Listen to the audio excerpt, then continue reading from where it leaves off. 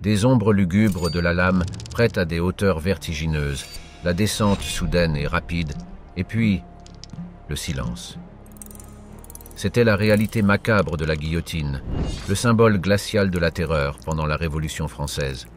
Nommé d'après le docteur Joseph Ignace Guillotin, qui, ironiquement, proposa le dispositif comme une méthode d'exécution plus humaine, la guillotine est devenue l'élément central terrifiant sur les places publiques de 1793 à 1794.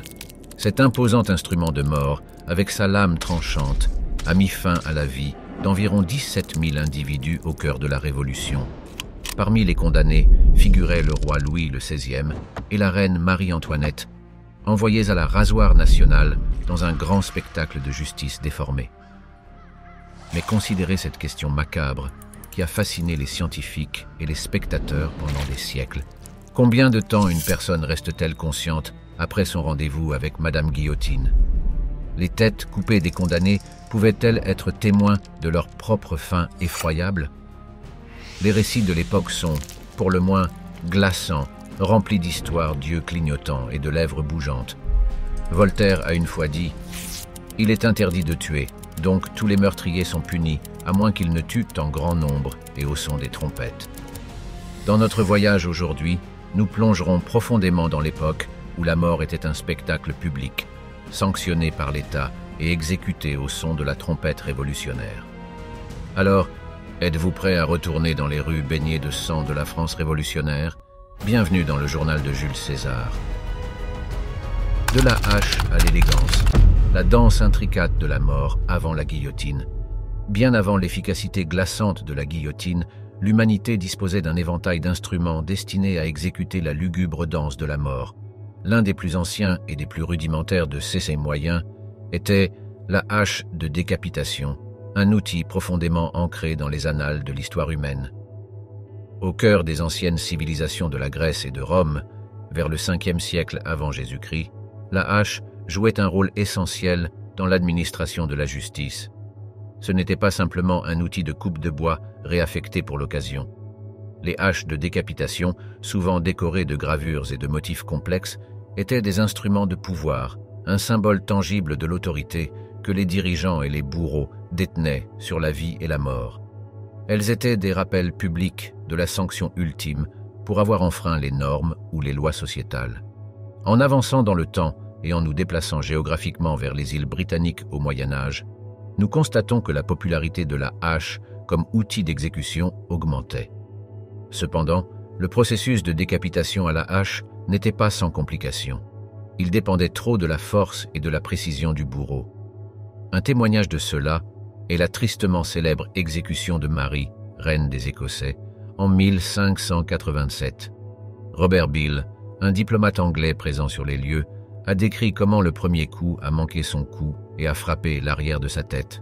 Le deuxième coup a tranché le cou, à l'exception d'un petit morceau de tendon, que le bourreau a coupé avec la hache. À la même période, nous assistons à l'émergence d'un autre instrument d'exécution, l'épée. Contrairement à la hache, l'épée était considérée comme un outil d'exécution plus noble. La noblesse à travers l'Europe a souvent rencontré sa fin par l'épée, considérée comme un privilège correspondant à leur statut. Ce n'était cependant pas une pratique universelle. Par exemple, Anne Boleyn, la deuxième épouse d'Henri VIII d'Angleterre, a été décapitée par une épée en 1536 une courtoisie non accordée à sa première épouse, Catherine d'Aragon. Au fil des siècles, le sentiment public envers l'exécution a commencé à changer. L'époque des Lumières, caractérisée par des idées de réforme humanitaire, a vu beaucoup remettre en question les méthodes cruelles de peine capitale. Dans cette mentalité en évolution est intervenu le docteur Joseph Ignace Guillotin, qui en 1789 a proposé un nouvel appareil conçu pour rendre la peine capitale rapide, efficace et moins sujette à l'erreur. Il était loin d'imaginer que son nom serait à jamais associé à l'instrument qu'il pensait être plus humain. Historiquement, l'exécution était un spectacle macabre, rempli de la sombre théâtralité de la souffrance et de la douleur. À l'époque de la proposition du docteur Guillotin, un changement était en cours pour rendre ces spectacles publics moins axés sur la provocation de l'agonie et davantage sur la dispensation de la justice de manière efficace et égale. Cependant, avec le temps, la machine humaine de Guillotin deviendrait un symbole de terreur pendant la Révolution française. Docteur Joseph Ignace Guillotin. Un esprit bienveillant dans un contexte morbide. Dans le récit de l'histoire humaine, le paradoxe est un thème récurrent. Le docteur Joseph Ignace Guillotin, l'homme associé à l'un des dispositifs de mort les plus tristement célèbres jamais inventés, était le paradoxe incarné. Né à Sainte, en France, le 28 mai 1738, le docteur Guillotin, médecin de profession, avait pour objectif d'alléger la souffrance humaine. Il n'aurait jamais pu prévoir les tournants dramatiques que prendrait sa vie, aboutissant à l'adoption d'un instrument de mort portant son nom à ce jour. Ironiquement, le docteur Guillotin était initialement davantage préoccupé par les vivants que par les défunts. Avant de se plonger dans le monde de la peine capitale, il a passé beaucoup de temps à lutter contre la variole il était un fervent défenseur du nouveau vaccin contre la variole découvert par Edward Jenner. En fait, le docteur Guillotin a même osé tester le vaccin sur sa propre famille, mesurant la profonde conviction qu'il avait dans le progrès de la médecine. Cependant, l'éminent médecin n'était pas seulement un homme de médecine, mais aussi un homme de politique. Élu à l'Assemblée nationale française en tant que représentant de Paris en 1789, il est devenu une partie essentielle de la vague montante de changements sociaux et politiques qui allait balayer la France. C'est pendant son temps, à l'Assemblée, que le docteur Guillotin a fait une proposition qui lirait à jamais son nom à l'histoire de la peine capitale. Contrairement à une idée reçue, le docteur Guillotin n'était pas le concepteur de la guillotine. Au lieu de cela, il a proposé l'idée d'une méthode d'exécution rapide et uniforme qui pourrait remplacer les méthodes atroces de l'époque comme le supplice de la roue ou l'écartèlement. Il croyait qu'un tel dispositif respecterait les principes d'égalité et d'humanité, valeurs fondamentales de la Révolution. Comme il l'a déclaré dans un discours en octobre 1789, Avec ma machine, je vous coupe la tête en un clin d'œil, et vous ne le sentez jamais. Cette citation, bien que plus macabre qu'il ne l'aurait souhaité, traduit son intention de rendre la peine capitale moins barbare et plus cohérente à travers les classes sociales. L'ironie de son entreprise n'a pas échappé à ses contemporains non plus. En fait, un journal français populaire de l'époque, Les Actes des Apôtres, a composé une chanson satirique sur la proposition du docteur. La chanson, intitulée La guillotine, fut peut-être la première fois que le nom du docteur Guillotin fut publiquement associé à l'appareil. La popularité de la chanson, couplée à l'adoption ultérieure de l'appareil par l'État français, a fait que le nom du médecin est devenu indissociable de l'appareil d'exécution. Cependant, la vie après la Révolution n'a pas été clémente envers le docteur Guillotin. Malgré ses meilleurs efforts pour se distancer de l'appareil qui portait son nom, l'association publique était trop forte. Un homme de guérison était paradoxalement rappelé pour un instrument de mort. Dans un retournement de situation, des rumeurs ont même circulé selon lesquelles il aurait rencontré sa fin par la machine même qu'il avait préconisée, bien qu'il soit en réalité décédé dans son lit à l'âge de 75 ans. L'art macabre, une exploration de la conception et de la mécanique de la guillotine. La guillotine, avec sa forme austère et son efficacité glaçante, encapsule une fusion de forme, fonction et terreur, une création stimulée par les temps turbulents de la Révolution française. Loin d'être un simple outil, la guillotine est une pièce d'ingénierie sophistiquée qui garantissait un passage rapide et sûr de la vie à la mort. L'adoption de la guillotine était davantage une évolution qu'un moment de création. C'était Tobias Schmidt, un fabricant de pianos allemand, qui fut chargé de la construction de la première guillotine au printemps de 1792, suite à la suggestion du docteur. Schmidt, maître dans la fabrication d'instruments complexes, devait maintenant construire un instrument de mort. L'aidant dans cette sinistre entreprise était Antoine Louis, le secrétaire de l'Académie de chirurgie, et un bourreau français, Charles-Henri Sanson. La guillotine était composée de deux poteaux verticaux parallèles, surmontés d'une traverse et d'une lame en forme de croissant. La lame était inclinée, un détail insisté par Sanson, qui croyait qu'un bord oblique serait plus efficace qu'un droit. Cette idée s'est avérée correcte, et la lame inclinée est devenue une caractéristique définissant de la guillotine. La structure entière mesurait environ 4 mètres de haut, avec la lame étant libérée d'une hauteur d'environ 2,3 mètres fournissant suffisamment d'énergie potentielle pour une exécution rapide. La simplicité de la guillotine était son génie. Une fois que la lame était levée et verrouillée en place, elle était libérée par le tirage d'une corde, utilisant la force implacable et infaillible de la gravité pour provoquer la fin. La descente de la lame était rapide, généralement autour d'un cinquième de seconde, une caractéristique de conception visant à minimiser la souffrance du condamné. Un élément intéressant de la guillotine était la lunette, un dispositif en forme de joug à la base des poteaux qui maintenait le cou du condamné en place.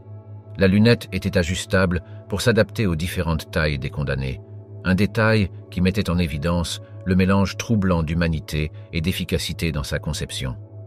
Un autre aspect crucial de la guillotine était sa portabilité. La guillotine pouvait être démontée, transportée et remontée avec une relative facilité, une caractéristique sinistrement pratique en ces temps de bouleversements politiques généralisés et d'exécution publique. Même si la guillotine était un dispositif d'horreur, elle n'échappa pas à l'humour de l'époque. Le mécanisme qui libérait la lame était humoristiquement appelé le déclic, un jeu de mots qui pouvait signifier à la fois déclencheur et c'est décidé. Même à l'ombre de la mort, il semble qu'un sens de l'humour sombre pouvait être trouvé. La guillotine était d'une fiabilité glaçante, si bien qu'elle demeura la méthode officielle d'exécution en France, bien entrée dans le XXe siècle. Son dernier usage fut aussi récent que 1977, un rappel frappant de son impact durable. Malgré sa fonction macabre, la conception et la mécanique de la guillotine en disent long sur l'ingéniosité humaine appliquée dans le contexte le plus morbide. Légaliseur de statut, la guillotine comme distributrice démocratique de la mort. Au milieu de l'ère tumultueuse de la Révolution française, une nouvelle forme de justice a vu le jour. Un instrument d'exécution est arrivé sur la scène, incarnant les idéaux révolutionnaires d'égalité et de fraternité d'une manière macabre, la guillotine. Cette création est devenue le symbole d'un terrain égalitaire où le statut de quelqu'un, noble ou roturier, ne pouvait éviter la main de la mort. Sous l'Ancien Régime, la peine capitale était un spectacle public chargé de distinction de classe. Les nobles étaient souvent décapités, une fin relativement rapide, tandis que les roturiers faisaient face à des fins plus sévères, telles que la pendaison ou la roue. L'arrivée de la guillotine a effacé ces disparités. Elle proclamait, dans une démonstration glaçante, qu'à la mort, tous étaient égaux. Dès sa première démonstration publique, le 25 avril 1792, lorsque Nicolas Jacques Pelletier, un bandit de grand chemin, est devenu sa première victime, la guillotine est devenue l'incarnation de la doctrine révolutionnaire.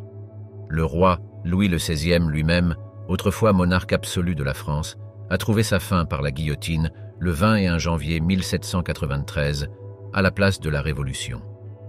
Sa mort, en net contraste avec les exécutions royales du passé, témoignait de l'égalitarisme brutal de la guillotine.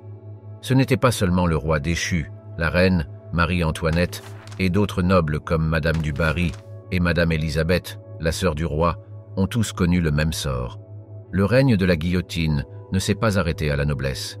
Sa lame est tombée sur les révolutionnaires eux-mêmes, y compris Georges Danton et Maximilien Robespierre, des hommes qui avaient autrefois été à la barre de la Révolution.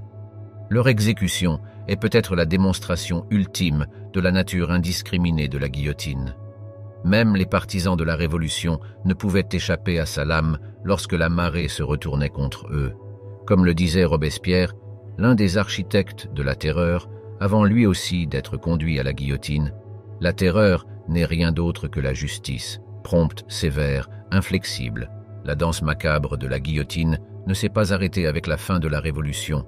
Elle est devenue la méthode d'exécution standard en France, un héritage sombre de l'ère révolutionnaire. Des personnalités comme le meurtrier Henri Pranzini et l'anarchiste Émile Henry ont rencontré leur fin sous sa lame, leur stature sociale ou politique ne leur accordant aucun répit. L'impact de la guillotine sur la psyché de l'époque est difficile à exagérer. Elle a influencé la culture, apparaissant dans la littérature, les chansons et même l'argot populaire. Des phrases telles que éternuer dans le sac ou regarder par la fenêtre sont devenues des euphémismes pour l'exécution. Le rasoir national, comme on l'appelait avec sarcasme, était ancré dans la conscience publique comme l'égaliseur ultime. Cependant, la guillotine n'était pas seulement une distributrice de la mort, mais aussi un outil de commentaire social. Le caricaturiste Honoré Daumier, par exemple, a utilisé la guillotine comme symbole dans ses œuvres pour critiquer l'appareil judiciaire et politique de son époque. Ombre de la lame, la danse de la guillotine pendant le règne de la terreur. Avec la Révolution française en pleine effervescence, les citoyens de la France se sont retrouvés à embarquer dans un voyage périlleux à travers une mer tumultueuse de bouleversements politiques et d'agitation sociale. Cette époque tumultueuse était peinte en écarlate par le règne de la terreur. Un chapitre où la lame froide et indifférente de la guillotine a ôté la vie de milliers d'individus. Commençant le 5 septembre 1793 et persistant jusqu'à la chute de Robespierre le 28 juillet 1794, le règne de la terreur a vu la guillotine être transportée dans les rues de Paris, laissant derrière elle une trace de crainte. La Révolution française était une période où l'air crépitait de murmures de liberté, d'égalité et de fraternité. Cependant, elle s'est rapidement transformée en un spectacle effroyable de mort sous le régime du Comité de salut public, le gouvernement révolutionnaire qui dirigeait la France à cette époque. Le comité, dirigé par des figures telles que Maximilien Robespierre et Louis-Antoine de Saint-Just, considérait la guillotine comme un outil nécessaire pour purger la France de ses ennemis. La terreur a commencé comme une mesure contre les contre-révolutionnaires, mais elle a rapidement dégénéré. Personne n'était à l'abri de la suspicion et de la condamnation subséquente. La noblesse, le clergé et même d'autres révolutionnaires se sont retrouvés sous la lame de la guillotine. Parmi les victimes les plus célèbres de la Révolution se trouvait Marie-Antoinette, l'ancienne reine de France. Le 16 octobre 1793, elle fut escortée dans les rues de Paris jusqu'à la guillotine. Le spectacle attirait des foules de spectateurs, leurs acclamations et moqueries résonnant dans la ville. La phrase infâme qu'il mange de la brioche, souvent attribuée à Marie-Antoinette bien qu'elle ne l'ait probablement jamais prononcée, résonnait dans l'esprit des spectateurs lorsque la lame est tombée, mettant fin à la vie de la femme autrefois considérée comme la plus puissante de France. Mais peut-être le jour le plus dramatique pendant ce règne de la terreur fut le 28 juin 1794, souvent désigné comme la fête de l'être suprême. C'était un jour où Robespierre, se proclamant leader spirituel de la République, déclara une nouvelle religion d'État. Lors d'une grande procession, il conduisit la foule au Mont de la Vertu, au centre de Paris. Juste un mois plus tard, il fut arrêté et condamné à la guillotine, un témoignage frappant de la nature rapide et brutale de la terreur. L'ironie de la chute de Robespierre n'était pas perdue pour les Français. L'homme qui avait déclaré « La terreur n'est autre que la justice, prompte, sévère, inflexible », avait été consumé par la même machine de mort qu'il avait défendue. Lorsque Robespierre fut conduit à l'échafaud, un spectateur aurait crié « Le sang de Danton t'étouffe » une référence à un autre leader révolutionnaire qui avait connu un sort similaire. Le règne de la terreur a transformé Paris en une ville de peur. Une culture de dénonciation prédominait, avec des gens dénonçant amis et familles sur des soupçons de comportement contre-révolutionnaire. Les enfants jouaient même avec des guillotines miniatures, une représentation glaçante de la normalisation de cet instrument de mort. Lorsque la terreur prit fin, plus de 16 000 personnes avaient perdu la vie à cause de la guillotine. Ce chapitre de l'histoire a servi de rappel frappant de la dualité dangereuse des révolutions. Elles peuvent donner naissance à des idéaux de liberté et d'égalité, mais aussi déchaîner un tourbillon de violence, avec la guillotine en son centre, coupant les fils de nombreuses vies. Les couronnes tombantes, la dernière valse de Louis XVI et Marie-Antoinette. À mesure que les flots de la Révolution française montaient, ils dévoraient la structure sociale établie ne laissant aucune place pour les monarques autrefois intouchables. Parmi les nombreuses victimes de la guillotine se trouvaient Louis XVI et Marie-Antoinette, le roi et la reine de France, dont le règne ne s'est pas terminé dans les salles dorées de Versailles, mais sur les places publiques trempées de sang du Paris révolutionnaire. L'orage a commencé avec Louis XVI. Le 21 janvier 1793, Louis, qui n'avait que 38 ans à l'époque, fut escorté à travers les rues bondées de Paris jusqu'à la place de la Révolution. Maintenant détrôné et connu uniquement sous le nom de citoyen Louis Capet, son statut royal n'était plus qu'une ombre. C'était une journée d'hiver vive, et le roi autrefois puissant se tenait sur l'échafaud, regardant une mer de personnes qui s'étaient transformées de sujets en bourreaux.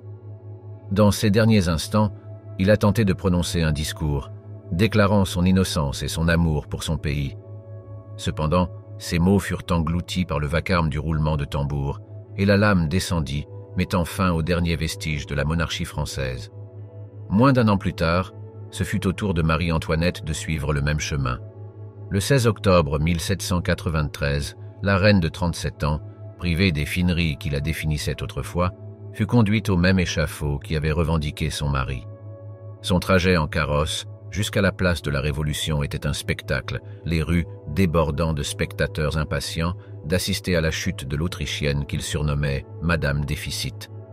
Contrairement à Louis, les derniers mots de Marie-Antoinette n'étaient pas destinés à la foule, mais offraient une humble excuse à son bourreau, qu'elle avait accidentellement écrasé. Pardonnez-moi, monsieur, je ne l'ai pas fait exprès. La reine, autrefois toute puissante, a rencontré sa fin avec la grâce et la dignité qu'elle avait maintenues tout au long de sa vie. La décapitation du roi et de la reine fut un choc profond pour les autres monarchies européennes. Un témoignage macabre des changements drastiques et violents survenant en France.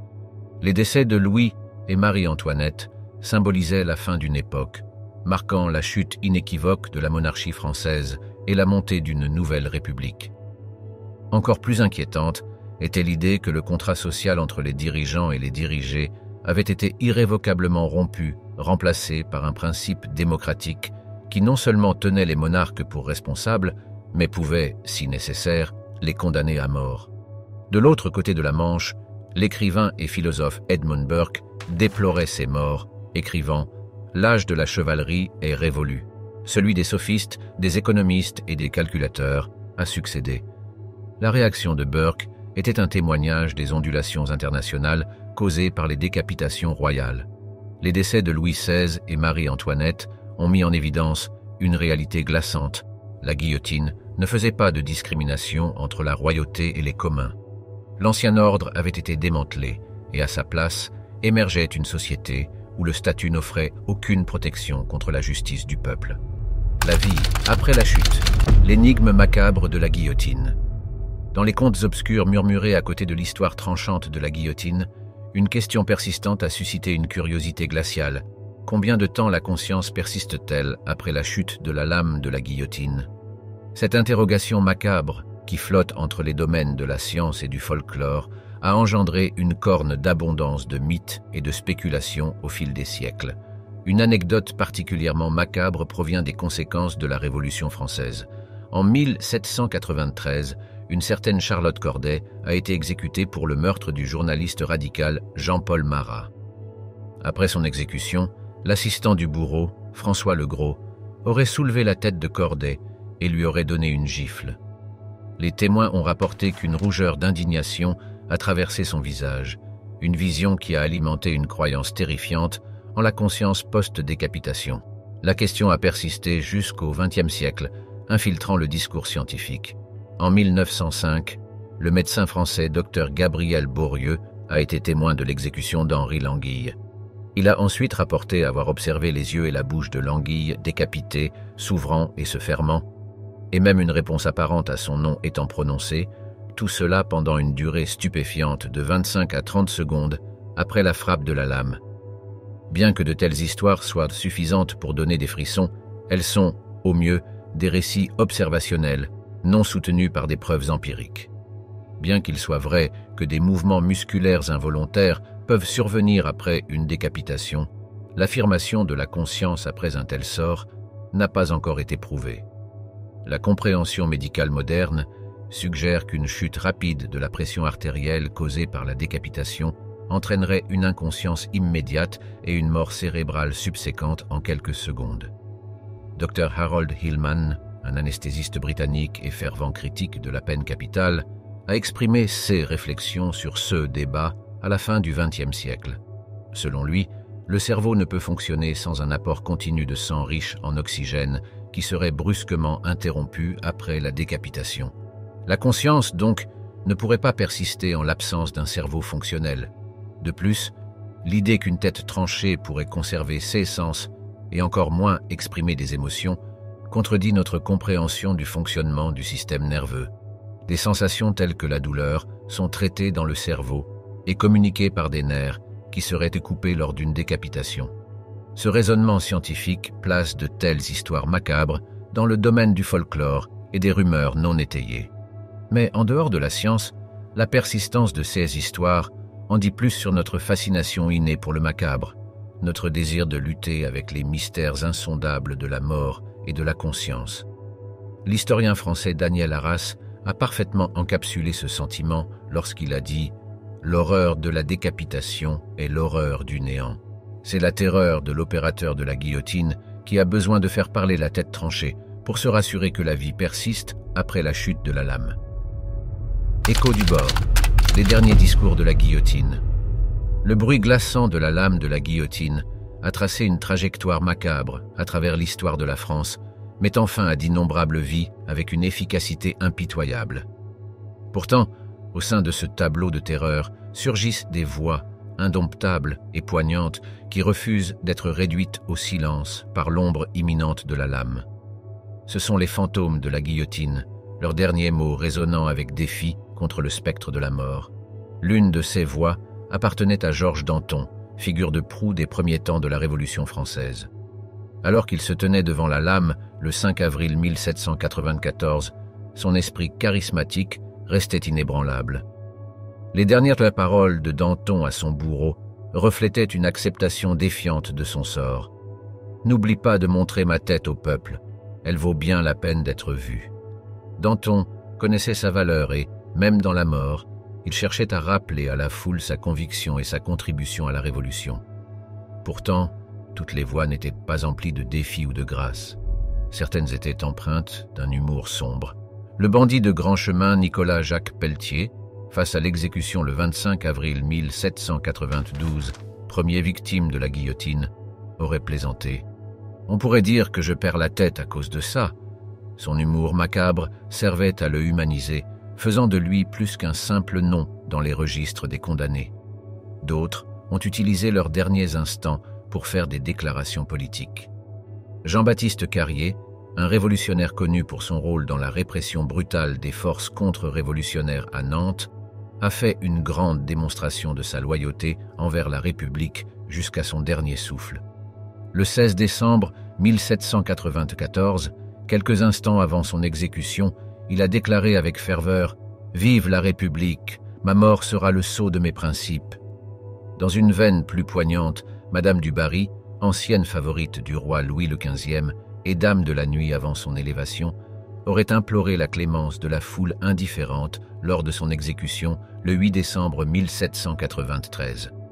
Esse's Supplications, témoignage bouleversant de sa peur, ont perduré bien après que la guillotine ait pris sa vie. Les gaffes macabres de la guillotine. Récit d'erreurs terrifiantes. Contrairement à la croyance populaire, la guillotine, symbole redouté du règne de la terreur de la Révolution française, n'était pas toujours aussi efficace que sa sinistre réputation pourrait le suggérer. Il y eut des moments où l'instrument de mort, autrement infaillible, s'est étouffé et a trébuché, transformant des exécutions rapides en de longs spectacles de supplice. L'un des incidents les plus tristement célèbres a eu lieu lors de l'exécution de Louis XVI. Le 21 janvier 1793, le monarque déchu se tenait sur l'échafaud, son visage autrefois royal, remplacé par la pâleur d'un homme condamné. La première chute de la lame n'a pas complètement tranché le cou du roi, et il a fallu une deuxième tentative agonisante pour terminer le travail. La foule, en silence dans l'anticipation, a poussé un soupir collectif face à cette scène horrifique. Cette démonstration perturbante a incité à de nouvelles améliorations de la conception de la guillotine dans une macabre quête de perfection. Un autre incident glaçant a eu lieu lors de l'exécution de Charlotte Corday, l'assassin de Jean-Paul Ier. Après son exécution, le 17 juillet 1793, il a été rapporté que les yeux de Corday clignotaient et que ses joues rougissaient après que le bourreau ait montré sa tête tranchée à la foule. Qu'il s'agisse d'une action réflexe macabre ou d'une confirmation effrayante de la conscience après la décapitation, ce spectacle terrifiant a suscité une grande agitation parmi les spectateurs et le grand public. Cependant, l'une des situations les plus troublantes s'est produite lors de l'exécution du tristement célèbre bandit Nicolas-Jacques Pelletier. Le 25 avril 1792, la guillotine a fait ses débuts publics avec Pelletier comme premier participant malgré lui. Le mécanisme de libération rapide a mal fonctionné, amenant la lame à se coincer à mi-chemin. La foule regardait avec une fascination morbide alors que le bourreau peinait à accomplir sa tâche macabre, transformant ce qui devait être un acte rapide de justice en une démonstration troublante d'incompétence. Malgré ces gaffes macabres, la guillotine était restée la méthode d'exécution privilégiée, en grande partie en raison de son humanité perçue. Les partisans de l'appareil soutenaient que ceux étaient des incidents isolés, des problèmes à résoudre par l'ingénierie, plutôt que d'abandonner la méthode. Les exécutions ratées ont incité à de nombreuses modifications de l'appareil, chaque ajustement promettant une forme de mort plus efficace. C'était une réalité inconfortable, la rationalisation de la mort, avec pour objectif de rendre l'impensable acceptable. Pourtant, les récits de ces erreurs terrifiantes persistaient, des murmures dans les rues pavées, des histoires glaciales partagées à voix basse. Le spectacle horrifiant d'une défaillance de la guillotine, bien que rare, projetait une longue ombre sur son règne glacial, un rappel troublant qu'il y avait de la place pour l'erreur même dans la science de la mort. C'était une pensée sobre pour ceux qui se trouvaient à la merci de sa lame. Le théâtre macabre, la fascination publique et la danse sinistre de la guillotine. Dans les années tumultueuses de la Révolution française, un spectacle sinistre se déroule au cœur de Paris. La guillotine, incarnation de la justice égalitaire, se dressait fièrement sur les places de la ville, sa lame brillant sinistrement sous le soleil. Pourtant, ce n'était pas l'instrument du bourreau qui tenait la ville en haleine, mais le spectacle de la mort elle-même. Les spectateurs regardaient, le visage pâle, mais les yeux grands ouverts de fascination. C'était leur théâtre, leur divertissement, et la tragédie de la vie et de la mort se déroulait à chaque chute de la lame. L'intrigue ne se limitait pas aux masses populaires. L'aristocratie, cloîtrée dans ses grands palais, était tout aussi captivée. Même s'ils tremblèrent à l'idée de voir leur propre coup sous la lame, ils étaient intrigués par le spectacle. C'était la fascination morbide qui traversait les classes sociales, l'expérience humaine partagée de faire face à la mortalité. Des récits de ces rassemblements macabres envahissaient la société, la danse sinistre de la guillotine devenant une partie intégrante du tissu social de la ville. C'est pendant ces moments que la célèbre Madame Tussaud, connue pour ses répliques en cire de personnalités marquantes, trouva l'inspiration pour sa collection glaçante. Elle réalisait des masques mortuaires des victimes de la guillotine, dont le roi Louis XVI et la reine Marie-Antoinette, qu'elle utilisait comme modèle pour son travail. Ceuses statues de cire deviendraient plus tard une partie importante de la culture populaire, perpétuant la fascination morbide du public pour la mort et la guillotine. Les anecdotes historiques suggèrent que voir les exécutions n'était pas qu'un passe-temps, mais un événement social. Les places publiques se transformaient en marchés animés, les vendeurs proposant de la nourriture, du vin et des babioles. Les enfants couraient en jouant, leur rire innocent formant un étrange contraste avec le tableau sombre. L'air, lourd d'anticipation, bourdonnait de conversation alors que les spectateurs échangeaient des nouvelles, colportaient des ragots et spéculaient sur le sort de ceux sur le point de connaître leur fin. C'était un spectacle social, la réalité brutale de la mort, soulignant la vitalité de la vie. Le tristement célèbre Charles-Henri Sanson, le bourg royal de France pendant la Révolution, qui présida de nombreuses exécutions de haut profil, devint une célébrité paradoxale. Malgré sa sinistre occupation, il était un personnage central du spectacle, ses mouvements étant suivis et scrutés par l'audience. Les exécutions qu'il menait n'étaient pas seulement des actes de justice, mais des représentations sur la scène de la Révolution. Sa phrase glaçante ⁇ Je tue des gens, mais je ne les fais pas souffrir ⁇ reflétait la lutte de la Révolution pour une société juste, tout en soulignant le paradoxe de l'attirance de l'humanité pour le macabre. La culture imprimée de l'époque alimentait également cette fascination. Des feuilles volantes et des pamphlets, remplis de détails sordides sur les condamnés et leur fin imminente, se vendaient comme des petits pains. These Publications, tristement qualifiées de littérature d'exécution, permettaient au public de revivre le spectacle, savourant chaque détail macabre à loisir. L'écho de la guillotine, une lame dans la tapisserie de l'expression culturelle. Dérouler les couches complexes de la place de la guillotine dans la culture populaire nous emmène dans un voyage captivant à travers le temps et les médias. Tel un personnage silencieux, cet instrument terrifiant a influencé la littérature, l'art et le cinéma, devenant un symbole puissant de peur, de justice et de bouleversement sociétal. La littérature a souvent été un miroir des préoccupations de la société, la guillotine jouant un rôle récurrent dans ce récit réfléchi. L'œuvre magistrale de Charles Dickens, Un conte de deux villes, publié en 1859, en est un exemple émouvant. Se déroulant sur la toile de fond tumultueuse de la Révolution française, la présence imposante de la guillotine sert de métaphore obsédante pour le tumulte sociétal, incarnant la soif ardente de justice de la Révolution. Une autre inclusion littéraire mémorable de la guillotine peut être trouvée dans Le dernier jour d'un condamné de Victor Hugo, publié en 1829. Ce récit sombre plonge dans la psyché d'un homme attendant son exécution, offrant au lecteur un aperçu glaçant de l'effroi associé à la guillotine. Pendant ce temps, dans l'art, la guillotine est devenue une muse fréquente, sa silhouette austère et sa fonction sinistre servant de puissant métaphore visuelle. L'œuvre de 1812 du célèbre peintre Jean-Louis-André Théodore Géricault, Les têtes tranchées, est une étude troublante des victimes de la guillotine, son réalisme étant le reflet de l'anxiété sociétale envers la peine capitale. La célèbre peinture Guernica de Pablo Picasso de 1937 présente également une structure semblable à une guillotine, symbolisant la violence catastrophique de la guerre. La bobine de l'histoire du cinéma est également marquée par la présence frappante de la guillotine. Un exemple notable est le chef-d'œuvre muet de 1928 de Karl Theodor Dreyer, La Passion de Jeanne d'Arc. Le climax du film, présentant l'exécution de Jeanne, capture l'effroi pur associé à l'appareil. Des œuvres plus contemporaines, comme l'adaptation de 1985 de Un conte de deux villes, ont également utilisé la guillotine comme puissant outil narratif, amplifiant la gravité émotionnelle de l'époque. Dans le curieux domaine du récit animé, la guillotine a trouvé un foyer inattendu. La comédie britannique de 1975, Monty Python et le Saint Graal, présente une scène où un lapin en bois est lancé par un mécanisme semblable à une guillotine. Cette touche comique souligne comment la représentation de la guillotine peut osciller entre le grave et l'absurde. Le monde musical n'a pas non plus été insensible à l'attrait inquiétant de la guillotine. La chanson emblématique Killer Queen du groupe rock britannique Queen, sortie en 1974, comprend les paroles Qu'il mange du gâteau, dit-elle, tout comme Marie-Antoinette.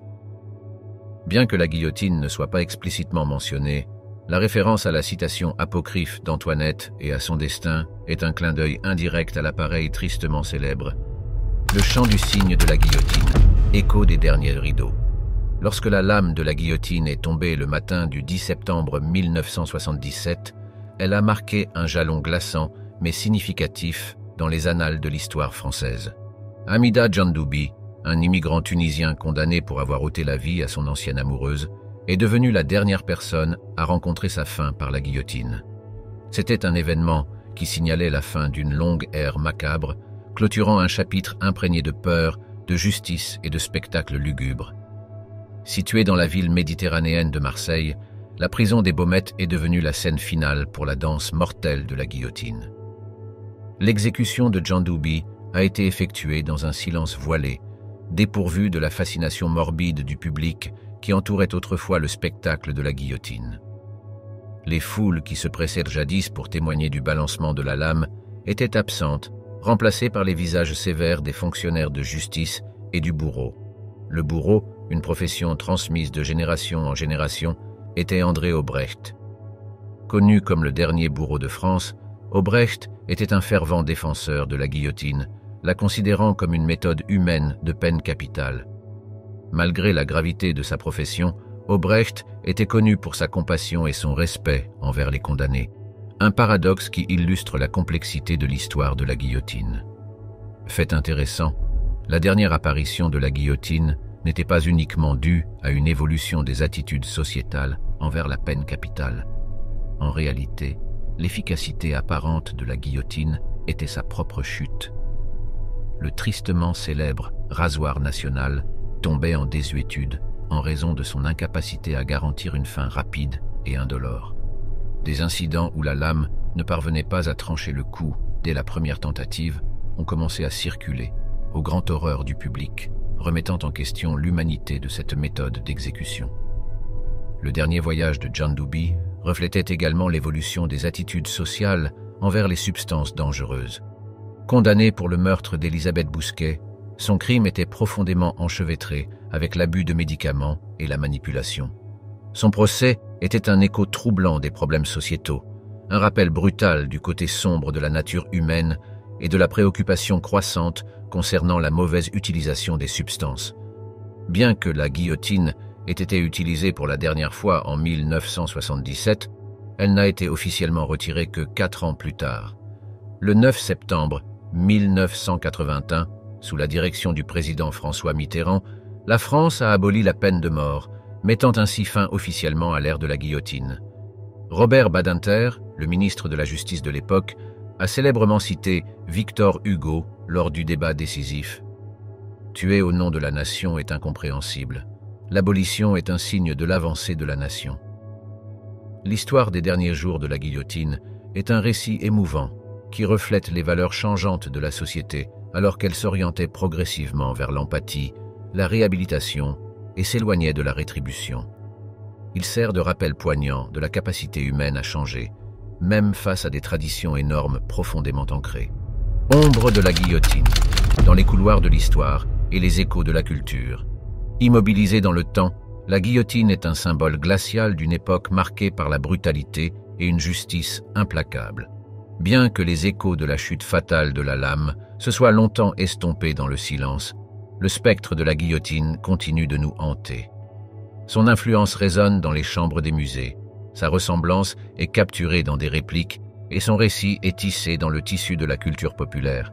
L'un des lieux les plus saisissants abritant les restes de la guillotine est le musée de l'histoire française, situé au cœur de Paris. Parmi les nombreux trésors de la collection, une réplique de la guillotine se dresse comme un sombre rappel du passé de la France. Il s'agit d'un écho méticuleusement élaboré du véritable rasoir national qui se dressait fièrement sur la place de la Révolution pendant les jours tumultueux de la Révolution française. Cependant, ce n'est pas seulement dans les salles silencieuses des musées que la guillotine projette sa longue ombre. Dans la ville française de Mortagne-au-Perche, un hôtelier excentrique, Michel Lotito, connu pour sa capacité à ingérer des objets indigestes, prétendait posséder une véritable guillotine. Il a exposé cet artefact sinistre dans la cour de son hôtel, l'Hostellerie du Cerf, où il se dressait comme une étrange attraction pour les clients et les passants curieux. De même, la ville de Bruges en Belgique abrite une attraction sombre dans sa brasserie Alve Maan. Dans une ironie bizarre, une brasserie, symbole de gaieté et de camaraderie, abrite une guillotine authentique, silencieuse et froide, en net contraste avec l'atmosphère chaleureuse et animée de la brasserie. En effet, la guillotine n'a pas été reléguée dans les ombres d'une histoire oubliée. Son image, son récit et son symbolisme ont trouvé leur chemin dans le domaine de la culture populaire.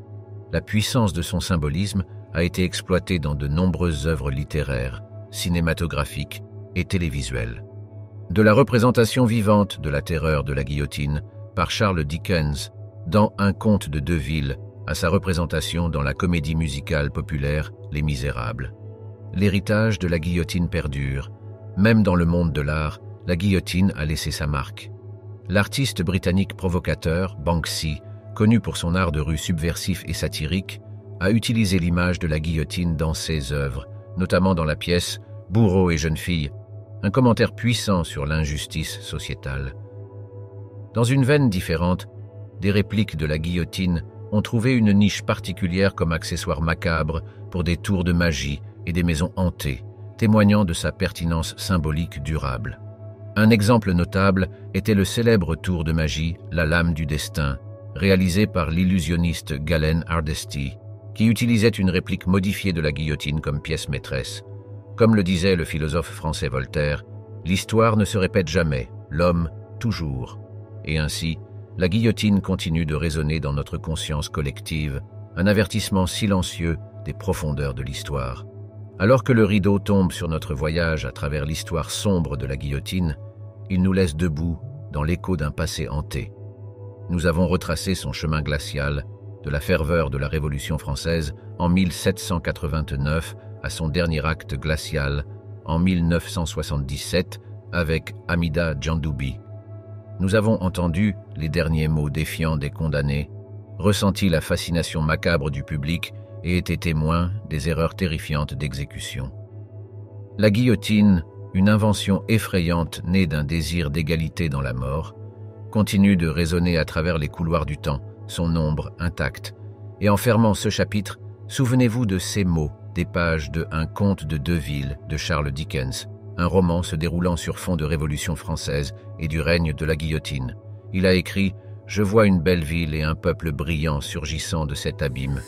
Et ainsi, tel le phénix renaissant de ses cendres, la capacité de l'humanité à changer, à grandir, est le seul phare lumineux contre la silhouette sombre de l'histoire de la guillotine. Merci de nous avoir accompagnés dans ce voyage. Jusqu'à la prochaine fois, gardez les échos de l'histoire près de votre cœur, car c'est en comprenant le passé que nous pouvons mieux façonner l'avenir.